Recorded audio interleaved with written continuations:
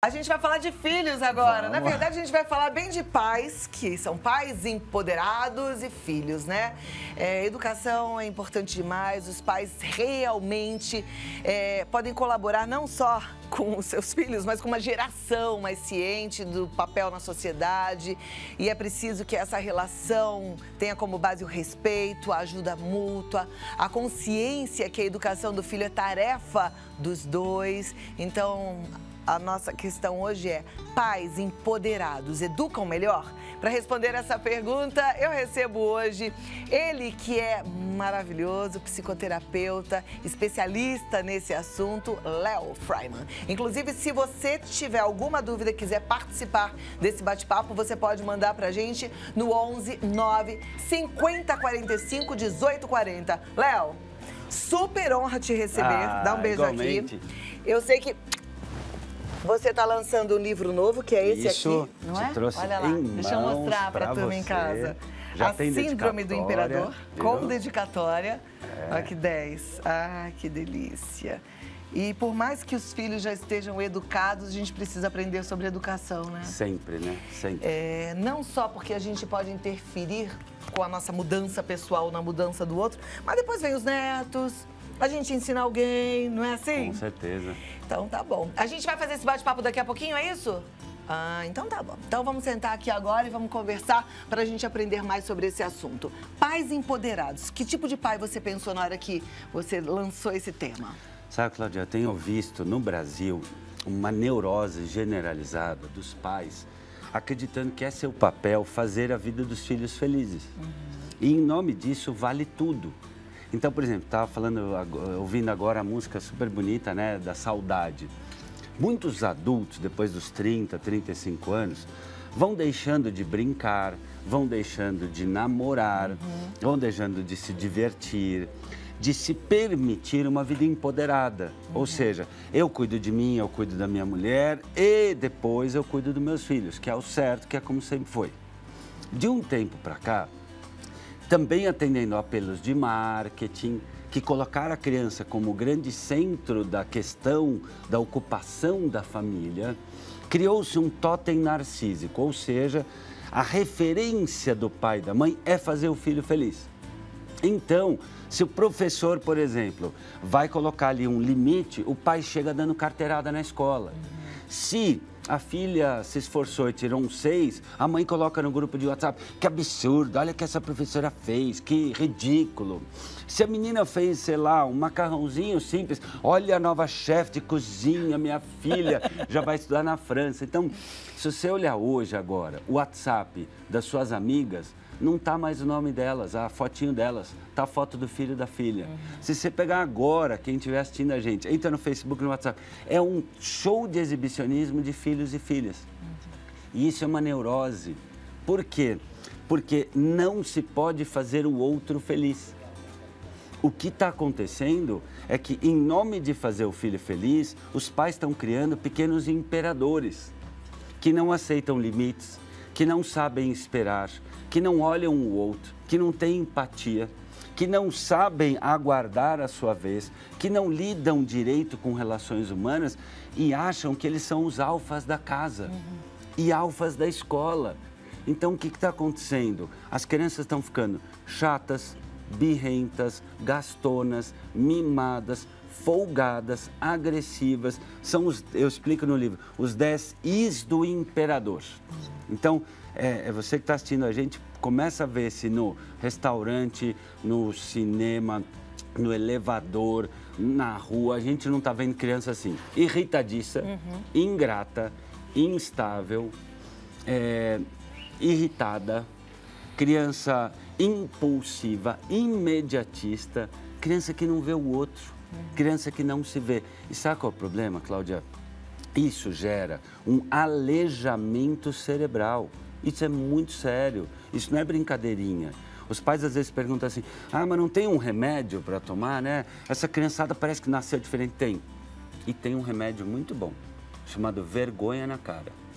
os pais e mães deveriam tomar uma gotinha de vergonha na cara todo dia por estarem humilhando os filhos, dando tudo, facilitando tudo, dando acesso a tudo, dando carteirada nos professores, porque no lugar de ir lá dar carteirada ou colocar no grupo de WhatsApp que a professora de ciências deu cinco, você parou para pensar se teu filho está estudando? Você olhou o caderno do teu filho? Você olhou se teu filho está dormindo direito? Você conversou com teu filho sobre a importância daquela matéria? Você valorizou que aquele professor está dando sangue, suor e lágrimas para ele se tornar inteligente? Você falou que você colocou ele nessa escola que é exigente para ele ter um futuro? Não. No lugar de criar um filho que seja uma águia, os pais criam o quê? Uma gaiola dourada para o filho virar um periquito, preso refém do narcisismo dele, pai e mãe, que para não olhar sua angústia existencial, sua falta de vida feliz, sua falta de uma vida gostosa, uma vida melhor, né? Para o adulto não ter que se olhar, ir para terapia, conversar com alguém, se conhecer, rever a sua vida para botar brilho na sua vida, o pai carrega com todas as tintas a vida do filho de sabe do quê? De vício vício em açúcar, vício em games, vício em tecnologias, vício em ser agradado, vício em presente. E isso gera o quê? Gera uma desgraça, desgraça. A criança não tem gratidão, não vê graça nas coisas, porque quem tudo tem nada quer. E aí essa criança fica mais infeliz. Vai chegando na adolescência, começa a se cortar Vai chegando na adolescência, começa a comer demais.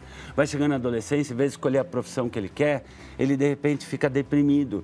Por quê? Porque ele foi tão é, viciado em não ter dificuldades, não se esforçar, não se empenhar, não se frustrar, que o que, que ele fala para si? Ah, nem quero essa faculdade, nem quero. No fundo é medo. Uhum. Porque não está acostumado a tomar tapa na cara para dar outra face não está acostumado a esperar, persistir para conseguir, não está habituado a dar o máximo de si. Ele ficou fraco emocionalmente. No que se chama hoje de competência socioemocional, ele não tem, não sabe lidar com as emoções. E isso gera, como eu falei, um aleijamento. Por quê? Você, você pratica esporte, dá para ver. A gente tem um músculo quando a gente exercita. Uhum. E hoje a neurociência, a área que estuda o cérebro, já mostrou, Cláudia, o cérebro se desenvolve igual o músculo por uso. Então, por exemplo, quando você nasceu, eh, o teu cérebro estava pronto para aprender 10, 12 línguas. Uhum. Você aprendeu as línguas a que você foi exposta. Uma criança que não aprende, não é exposta ao treinamento, educação é treinamento, de espera, de resiliência, de empatia, de determinação, de foco, de respeito, de cidadania, de gratidão, essa criança fica com o cérebro prejudicado, como que aleijado mesmo. E é um sofrimento terrível, por isso que eu chamo no livro a síndrome do imperador. Porque isso não é engraçadinho, isso não é divertidinho, isso não é a criança não ter limite, não. Essa criança está doente. É triste. E os pais estão doentes também. Uhum. Tanto que no meu consultório a gente faz o quê? antes do pai ser da, da, criança, da criança ser tratada, primeiro passam os pais por orientação familiar. Uhum. Precisa ter um projeto, Cláudia. Porque hoje a emoção básica da família é medo, culpa e imitação. Medo, tudo é medo. Ai, se eu botar limite. Ai, se eu gritar. Ai, como é que eu tenho que fazer? Ai, e se eu errar? Ai, e se meu filho ficar triste? Ai, e se meu filho ficar irritado? Medo. Culpa. Ah, eu trabalho demais. Ah, eu não dou o suficiente. Ah, eu não sou, eu estou chegando tarde. Ah, porque eu não consegui levar para as férias. Agora começa a férias, essa loucura. Ah, porque e se eu não conseguir uma colônia de férias? Uhum. Ai, e se eu não tiver presente? Não sei o quê. E a imitação. Todo mundo faz, hoje em dia é assim, ah, está todo mundo fazendo. A fonte de informação hoje, muitas vezes, não é mais o bom senso, não é mais a palavra de Deus a palavra hoje de referência é o todo mundo faz. Uhum. É o uhum. grupo de WhatsApp. Uhum. Antigamente, você cresceu assim, você perguntava para a avó, você perguntava para a tia. Você tinha uma linhagem de mães e de uhum. pais que passavam uma sabedoria que naturalmente ensinavam a esperar. Duvido que você falava para sua mãe o que você queria comer. Não, quando, claro quando que não. Tem que comer tinha, o que tem. Chegava, chegava lá o um macarrãozinho. Você não quer macarrãozinho. O que, que tua mãe falava? Vai comer o que tem para hoje. E se você falava, não quero comer? Então, vai ficar com fome, porque é essa a comida Essa é a mãe empoderada, percebe? É igual a televisão. Vai assistir o Jornal Nacional, porque a gente assiste Jornal Nacional. Vai assistir novela aqui com a gente, dorme, fazia cafuné. Isso. Mas era, era a única televisão? Isso é mãe empoderada. A mãe empoderada, ela não se coloca em liquidação. Ela não se coloca com um baixo valor. Ela é alfa da casa.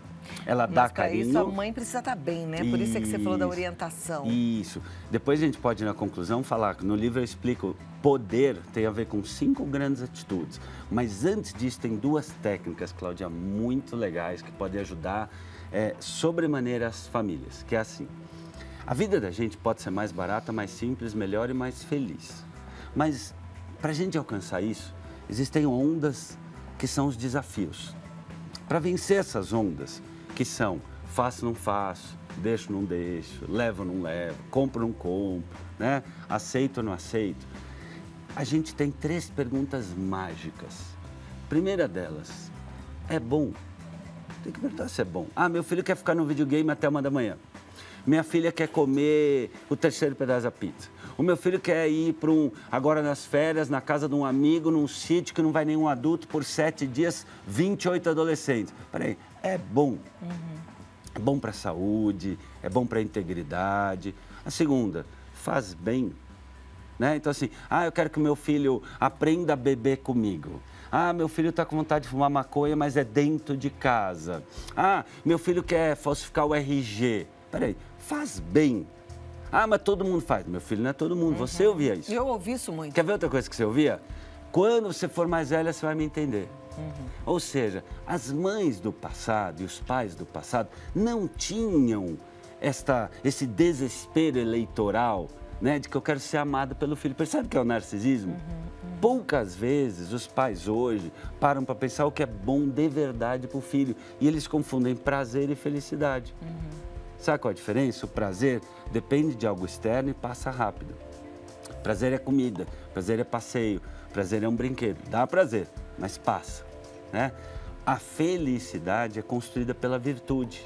Todos os estudos sobre felicidade, Claudia, e olha que eu já li muita coisa sobre, a felicidade é virtude. A pessoa que pratica moderação, justiça, amorosidade, a pessoa que pratica sabedoria, a pessoa que pratica coragem. Uhum. Essa pessoa que pratica virtudes, né? De olhar o que é bom hoje, o que é bom amanhã, o que é bom para mim, o que é bom para o outro, aquilo que eu estou com vontade de fazer, mas não convém, uhum. aquilo que eu não estou com vontade, mas me cabe. É isso que tem que ser praticado. Então, antes do sim, do não deixa, não deixa, faça, não faça, tem que ter essa reflexão. É bom, faz bem, transmite virtude, porque a hora que o filho fala assim, não está com vontade de fazer lição de casa. Eu entendo, filho, tem hora que a gente não está com vontade, mas você vai fazer mesmo assim. Uhum. Ai, pai, mas você é um saco. Como é que a gente combinou que a gente ia se tratar aqui em casa? Eu sou teu pai, não sou teu amiguinho. Uhum. Porque se o objetivo do pai é ser amiguinho, ele está cometendo um crime do ponto de vista simbólico e até constitucional. Constituição Federal, artigo 227 é vedada a omissão, a negligência e o abandono por parte da família, Estado e sociedade. Então, a superproteção é uma forma de abandono. Uhum. Né? É, a música, por exemplo, dá um exemplo. Para poder tocar aqui, ah, 10 segundos, dá uma canja. São anos para se chegar na excelência. Uhum. Né? Para uma pessoa se tornar uma boa esportista, anos para conseguir ali nos 100 metros passar um recorde. Para você saber hoje se apresentar, saber conversar com diferentes tipos de pessoas, todo o teu preparo, uhum. né? não é chegar aqui bater papinho, uhum. tem um preparo emocional. Tem dias que você já veio aqui gripada, não é? Doente, a vida está toda. Mas não, você está lá uhum. falando em respeito ao quê? Ao telespectador, em uhum. respeito à tua missão. Então está na hora da família brasileira colocar a missão acima do ego. Porque quando algo é grandioso, vale a pena ser submisso. Hum. Então, antes de pensar, eu estou com vontade ou não, peraí, vai fazer bem para o meu filho? Tem pai e mãe que agora, férias, se descabela, vende joia para mandar a filha para passeio, para férias. Para quê? Em nome do quê? Uhum. Isso não vai trazer felicidade, isso vai trazer um prazer ali, só que depois essa mãe tem que trabalhar três vezes mais, vai estar ausente da casa, vai estar irritada, vai estar estressada, não vai ter nem energia para namorar com o pai. Fica uma coisa transtornada. Em nome de quê? Sabe, a gente tem que aprender na família a mimar o marido ou a esposa. Né? Então, assim, mima tua esposa, dá carinho, dá presente, dá beijinho, dá bom dia, elogia, faça surpresas. Porque isso, claro, em relação ao marido uhum. também, né? Você está com três homens apaixonados. A Daniela, é. a Daniela também. Esses é, três aqui, a é, sua esposa eu tenho a minha também. Daniela. É, então, lá. assim, eu aprendi na vida que o segredo da vida é fazer a mulher feliz. A mulher é o jardim do homem. Se a mulher está bem cuidada, bem cultivada, bem regada, ela traz perfume, ela traz frutos gostosos, ela brilha o Vocês olho. é uma delícia, certo, não é verdade? Meninos, o homem inteligente, ele mima a mulher, uhum. porque a mulher é, é, um, é uma fonte de tanta alegria. Não tem coisa mais gostosa uhum. chegar em casa, a tua mulher, ai, que gostoso você chegou. Sim, Agora, o é oposto é verdadeiro. A coisa do lar, né? É. E aí ela vai cuidar e da E o casa. oposto também é verdadeiro. Na medida em que a mãe serve primeiro ao pai, na medida em que diante das questões, olha, não sei, vou conversar com seu pai, depois eu vejo. E o filho fala assim, isso é um saco. Escuta, você está falando com meu marido, baixa a bola aí, menino. Uhum. Entende? Porque é assim que os pais faziam antigamente. É, e passa valor, e passa hierarquia, isso, autoridade. Isso, e no fundo as pessoas falam assim, ai, as crianças de hoje são diferentes. Não são, não. A criança precisa do que sempre precisou. Equilíbrio entre afeto e firmeza. As crianças de hoje não são nada diferentes. As crianças felizes que eu vejo no meu consultório, nos grupos de amigos, no mundo, são filhos de pais que têm esse equilíbrio de afeto, carinho, toque, olho no olho, que é o primeiro P da presença, o P do poder, presença, olho no olho, menos celular, mais olho no olho. É ir lá pôr o cobertorzinho para dar uma boa noite para a filha. É dar aquele abraço. Não interessa teu filho vai falar que é mico, que ele já tem 15 anos, não interessa. Eu sou mico mesmo, eu te amo e acabou, você é meu filho. Uhum. O ódio é organização. Se o filho não está sabendo se organizar, cabe aos pais organizar. Porque tem coisa que a criança e mesmo o filho com às vezes 18 anos não está sabendo manejar a agenda, uhum. não está sabendo cumprir as tarefas, não está sabendo lidar com a sua liberdade. Então ele fala que ele vai sair, a mãe combina, ó, então você me avisa a hora que chegar, ele não avisa, então ele não está sabendo manejar. Cabe aos pais ele, você não está sabendo usar a liberdade, aí, o que, que nós vamos renegociar? Uhum. Mas isso precisa estar tá no eixo, isso você precisa ter poder na tua voz para chegar nisso. Organizar comida, sono. Cabe aos pais darem a última palavra com essas coisas. A disciplina. Hora que o filho vai ajudar a pôr a mesa, e veja, não tem debate, vai ajudar a pôr a mesa. Vai junto no sacolão, vai junto no mercado, vai lavar o carro junto, vai levar o cachorro passear. Não quero. Não perguntei se você quer, é uma vida. Você queria comprar o cachorro, agora você vai. Ah, mas se o filho não levar? Se o filho levar, tem uma consequência. Uhum. Amanhã ele vai querer um passeio, ele não vai ter o passeio. Amanhã ah. ele quer o brinquedo, não vai ter o brinquedo. Você está falando assim, ó, gente, ainda bem que os meus já estão criados, mas eu estou pensando, estou lembrando, porque como a gente faz um monte de besteira. Mas todo pai, toda Aí mãe eu quero te fazer faz, uma pergunta. isso é da vida. E dá tempo de consertar, mesmo que ela esteja agora, vamos imaginar, com 12, 13, o imperadorzão. 14, o imperadorzão. As minhas telespectadoras estão com filhos adolescentes, algumas com problemas sérios. Dá tempo de consertar? Não responde agora, não. Segura aí. Vamos ver. Vocês já sabem que tem um caminho aí a traçar, né? Mas é Obrigado, é bom a gente trazer esse assunto, porque eu oh, penso, fantástico. pelo menos, que a gente veio de uma geração em que os pais eram desse jeito. E a gente achou que podia fazer diferente sendo Exatamente. o amigão do filho, né? Não funciona. E a gente perdeu um pouco a filho mão. precisa de pai, filho é precisa de mãe. Amiga, ele já tem um monte. Aliás, eu acho que nessas viagens a gente acaba tendo momentos muito especiais também em família. Com né? certeza. Eu gosto muito. Mas eu me lembro, acho que talvez vocês tenham vivido isso também, das viagens de carro, que também eram gostosas, que a gente ia cantando é, no carro. Verdade. Como é que era na época de vocês? Como é que era? Mais uma vez, vou falar do meu avô Sáter, né? Que a gente viajava fazer aquela matula, tinha o ritual da matula, né? Todo mundo ajudava a fazer a matula, né? E como ele... O que, que é matula, hein? Desculpa, nem expliquei o termo, né? É o quê? É aquele lanche que você leva na viagem. Então, assim, meu avô, família árabe, né? Com paraguaio ali. Então, aquela exagero de comida sempre. Uhum. Todo mundo fazendo comida junto, meio tipo italiano, né? E é a comida que você leva pra viagem. Meu avô dirigindo comia ovo cozido, quibinho assado. Olha. Enfim, é um banquete real mesmo. Isso uhum. ficou pra, pra vida. Hoje em dia eu viajo com meus amigos, a gente faz a matula, todo mundo. Que legal. Né? Você vê que né, os avós continuam na gente. É, isso é muito especial, né? Você vê, ao fazer junto, uhum. né? Não tem cabimento uma mãe se matar de trabalhar, ou o pai, e ir sozinha no sacolão, ir sozinha no mercado. Veja, agora está em férias, né? É, às vezes os pais ficam desesperados, o que, que dá para fazer, e não, nem tudo precisa ser gasto. Ir com um filho no mercado, vamos ver tudo que a gente acha que tem vermelho. Uhum. Vamos ver tudo que a gente acha que são coisas que começam com a letra A. Ou escuta, vamos fazer aqui a lista, filho, vamos fazer uma pesquisa de preço, ajuda aqui a mãe. É, ou seja, envolver o filho, a filha, na participação da organização da casa. Não tem cabimento uma mãe ficar que nem uma escrava, uma serva, uma tonta catando roupa Ô, suja Léo, de moleque de 16 eu anos. Eu falei que eu acho que a gente quis mudar um pouquinho o jeitão que a gente foi criado. Mas agora você falando disso, eu fico me lembrando, era tão precioso ir no supermercado Isso. com a minha mãe, eu ficava tão encantada é. de pegar as coisas, de ajudar, eu achava tudo muito, eu me sentia muito importante. Sim. Que, que aconteceu? Porque eu fico pensando, os nossos pais, não era uma ciência, era o jeitão deles, né? Eles fizeram da mesma forma que a gente faz.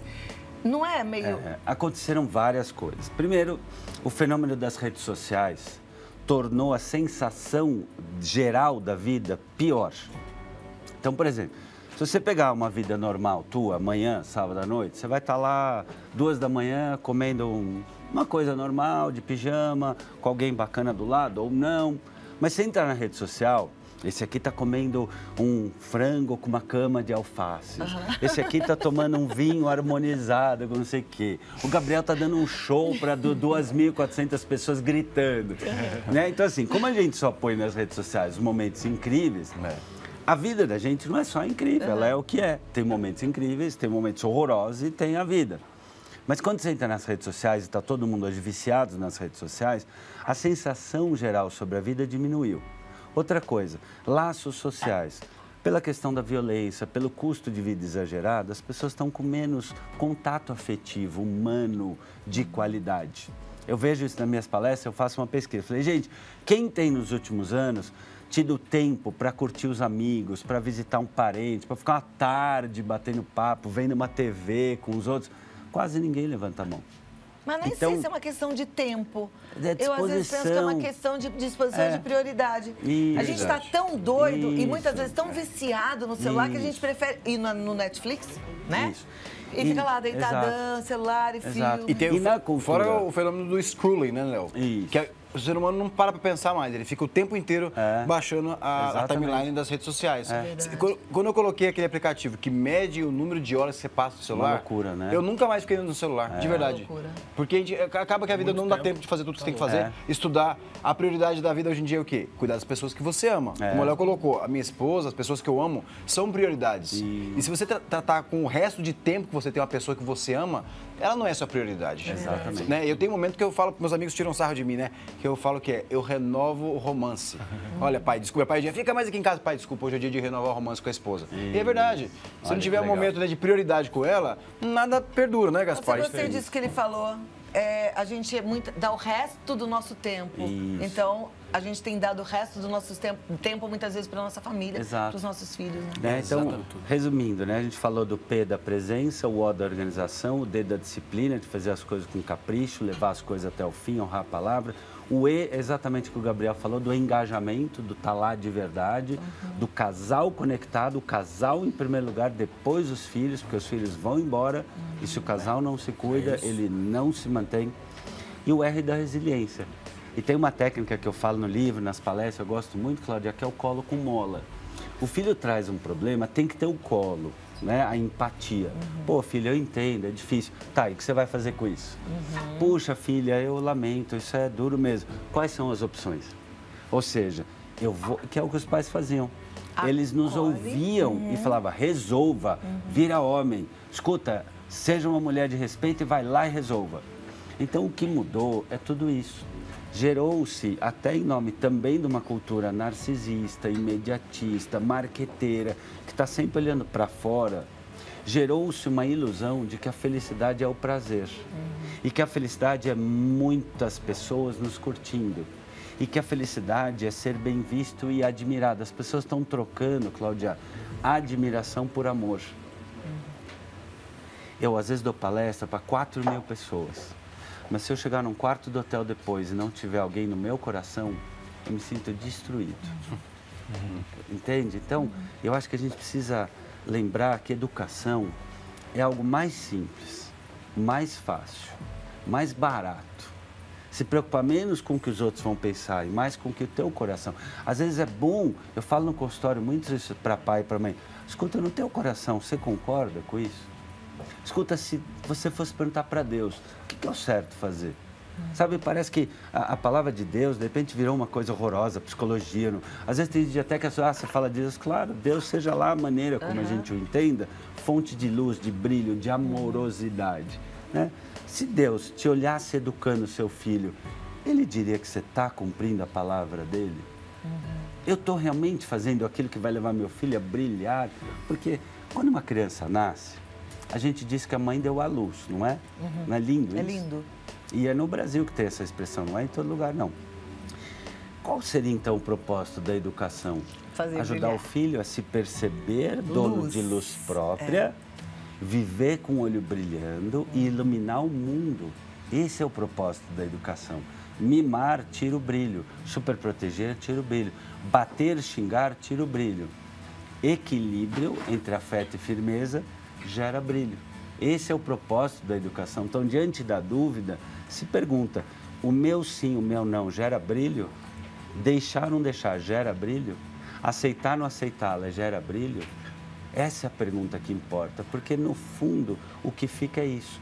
O quanto a pessoa se sente dona de luz própria. É isso que vai protegê-la da maconha, é isso que vai proteger do consumismo, é isso que vai proteger de uma gravidez precoce.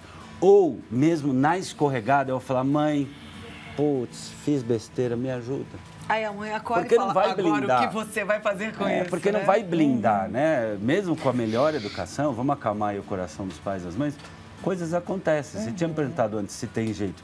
Para tudo tem jeito, uhum. sempre. E às vezes tem mais de um jeito, só que às vezes não é de pronto. Então, um imperadorzinho de 28 anos vai levar pelo menos dois a três anos, 10% do tempo para tratando a família e o garoto virar gente.